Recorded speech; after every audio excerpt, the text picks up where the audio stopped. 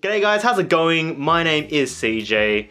We live in a world where we could probably find a smart version of pretty much anything we could think of. Smart fridge, smart TVs, smart shoes, smart phones, smart watches, you name it. Typically the main way of turning something into a smart object is to give it a little bit of connectivity. And usually this is in the form of Bluetooth so that it can connect with your smartphone or tablet and use it as a gateway to access the internet. As it turns out, applying this same principle to bog standard products from everyday life can turn them into really great and useful smart products too. And items like this new product that I've got from Orbit are a great example of this. For those who don't know, Orbit are an Australian company that specialise in producing Bluetooth tracking devices, kind of similar to things that you'd see coming from Tile or TrackR. So classically, their products have been aimed at people who keep losing their keys or belongings and built all this functionality into a package that is both attractive and elegant. Today, I've got a new product called the Orbit Card, and as you could probably imagine, it's a slim, card-sized Bluetooth tracker that could fit in any bog standard wallet including this one right here, and that should give everyone the ability to keep track of their all-important cards and cash.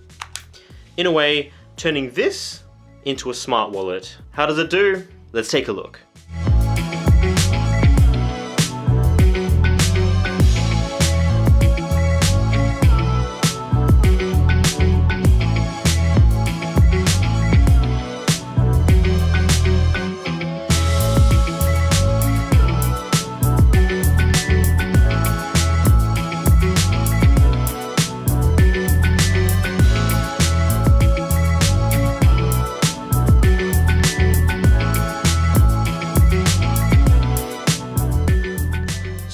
Primarily pre-production hardware, so the packaging could change before release. But effectively, what the card will come with is a charging clip, and that's it. The card is rated to have up to 3 months of battery life, which seems slightly limited, but that's why we have a simple charging solution that is USB compatible. An absolute godsend considering most other solutions don't have any real charging solutions, meaning that you'd either have to send the depleted product back to the company, or you'd have to go through a big rigmarole to change the battery yourself. So the setup process is nice and simple.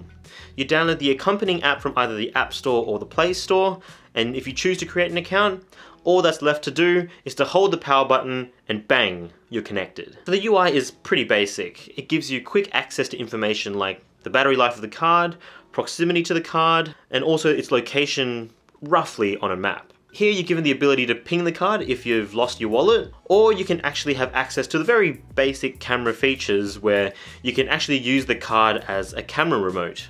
This feature overall actually works quite well, though sometimes you might have to hit the trigger button twice though I feel this is probably just a software issue that can be resolved with a software update. So another feature that comes with the Orbit card is not only the ability to find your wallet, but you can also use the wallet or the card to find your phone if you've lost that instead. And inside the app, you're given the ability to customize these features so that you can customize what kind of ringtone plays when you hit the button. And I find this reversibility a pretty cool feature to have, especially if you're someone who easily loses their stuff inside your house. So if you lose your phone, you could easily find it with the card, and if you lose your wallet, you can easily find it with your phone. Another great advantage to this particular feature is that if you've turned your phone onto silent, it actually overrides this feature and will still play at full volume when you've lost it.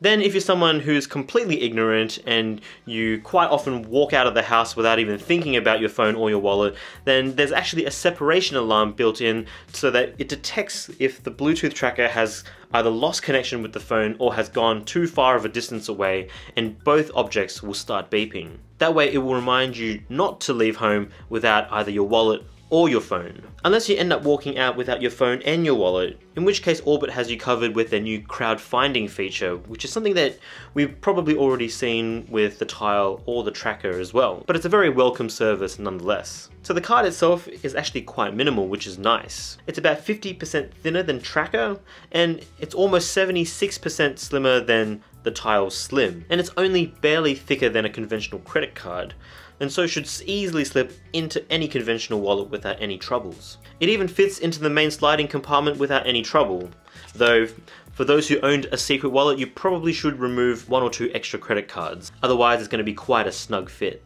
It's made of a pretty flexible plastic, so there's a decent amount of give, and overall it should be able to cop quite a decent amount of abuse. It's rated to be waterproof too, so if you're unlucky enough to leave it in your jeans and throw it in the wash, your Aussie dollars and the Orbit card should survive. But in the short couple of weeks that I've been using the Orbit card, it's worked pretty reliably in terms of Bluetooth connection and accuracy of location. Though the truth will reveal itself over time to see whether or not it stays that way. The selfie remote function is also a nice touch, so if you want a slim and elegant way of adding a little bit of smart connectivity to your wallet, be sure to take a look at this product. You can pre-order the Orbit card from their website today. It starts at around 50 Australian dollars or around 30 US dollars. And you can land yourself a discount if you want to buy more for your friends and family. Links will be in the description below. Anyway, what do you guys think? Do you guys own a similar product? Will this be of any use to you? Let me know in the comments section below. Anyway, thank you so much for watching this video. If you enjoyed what you saw, be sure to give us a like, and if you haven't already, do consider subscribing. As always, thanks again for watching, and I look forward to seeing you in the next one. Say good day, mum for me. Cheers.